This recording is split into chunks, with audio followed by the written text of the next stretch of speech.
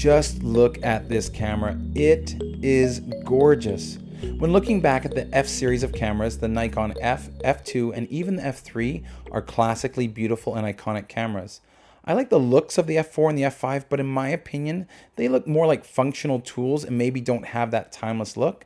But I feel like the F6 has the updated classic look and it is destined to be a timelessly beautiful camera.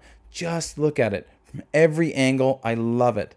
But it isn't just the looks that make this camera the ultimate film SLR. One of the things that is really great about the F6 is the data back.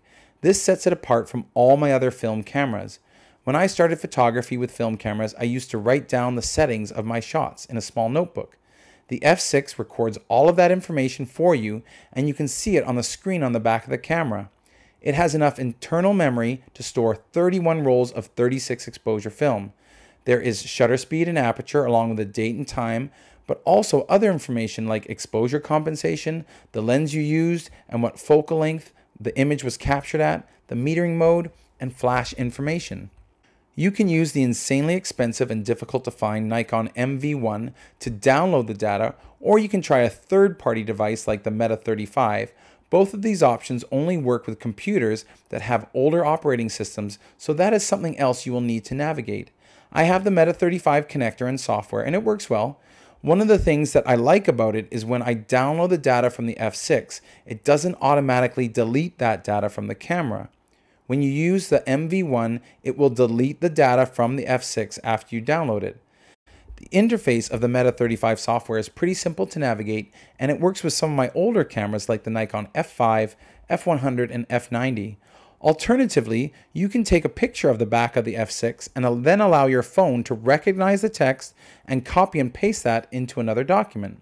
It isn't perfect, but it works pretty well. The data back is also where you can set the custom settings for the F6.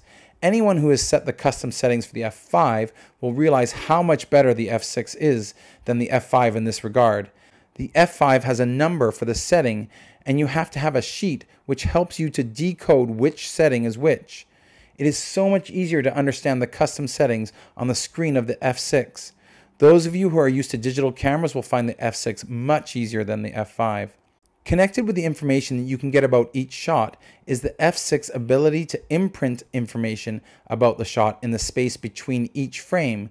You could do this with the F5, but you had to purchase a different back for the camera. I like that it's built into the F6. There is a lot more information on the back of the camera than what is printed in between the frames, but it is nice to be able to look at your negatives and easily see the settings for the images.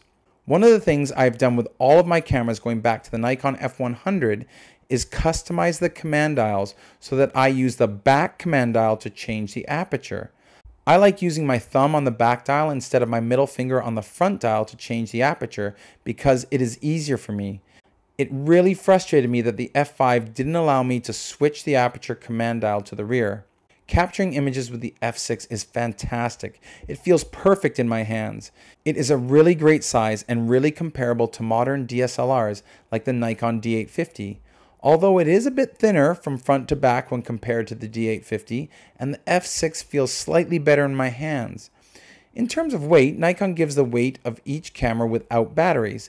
The F4 and the F6 can both be used without the optional bottom grips, while the F5 has the built-in grip, so you have more options for controlling the weight of the F4 and F6. Without a grip and batteries, the F6 weighs 975 grams, while the F4 weighs 1,090 grams.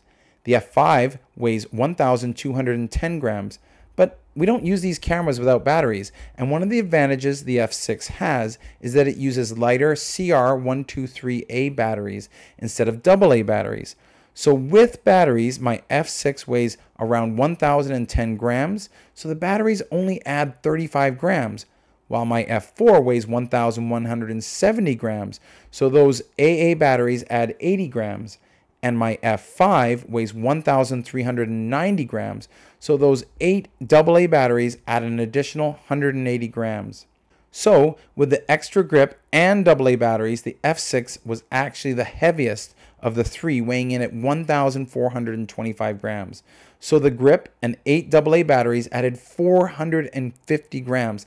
That makes the F6 almost one and a half times as heavy as it is without the grip. There is an option of using an older EN EL4A with the F6 when the MB40 is attached, and that combination weighs in at 1,415 grams, so it only saves you about 10 grams, while my F4 with grip and batteries was 1,390 grams, which is the same as the F5 with batteries. Although something about the design of the F6 makes it feel lighter than the F4 and the F5.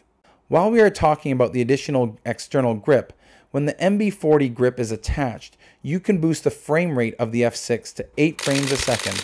But to be honest, I don't use that type of frame rate with film now that I have digital cameras.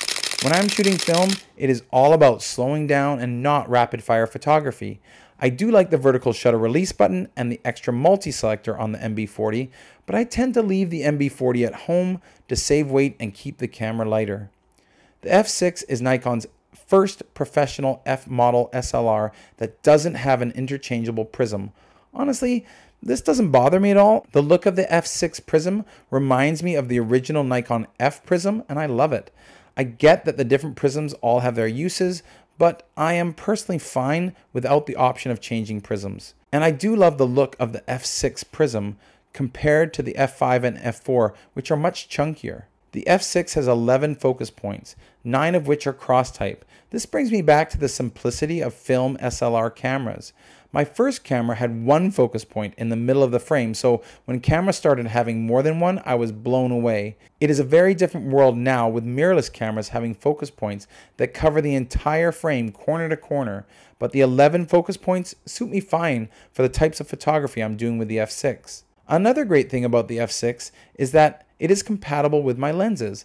I don't have a ton of really old lenses, but I do have some for my Nikon F and F2. Some older lenses need to be converted to work with the F6, but it works with lenses like my super sharp 28mm f2.8 AIS lens.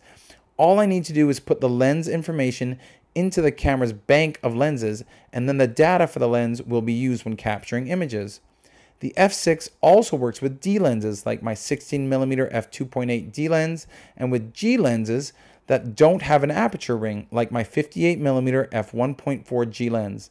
Finally, the f6 can take pictures with E lenses that have an electronically controlled aperture like my 70-200 f2.8 E lens, but the lens can only be used at its widest aperture as the f6 can't change the aperture, so E lenses are most limited on the f6. All of these lenses still give me data on the screen on the back of the camera and print the data between the frames of my photos. Finally, Nikon says a lot about the f6 being quiet and to be honest, now that I'm used to silent mirrorless cameras, calling any mode on the f6 or any SLR camera quiet is kind of funny. I compared the sound of the f5 to the f6, which were both in quiet mode so you could hear the difference. The f6 is definitely quieter. So here are the sound waves of the F6 and the F5 side by side.